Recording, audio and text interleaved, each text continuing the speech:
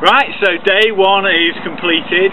We're here in um, Calder Grove at Broadcut Lock. Broadcut. And we're on the boat, and it's amazing. And we've, we've had a quality day. It's, um, you know, I feel like it's been a good challenge.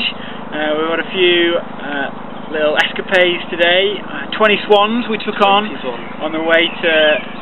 Um, where were we at that point? Uh, we're on our way to Allerton uh, Bywater, Yeah, Allerton was. by Bywater. Yeah.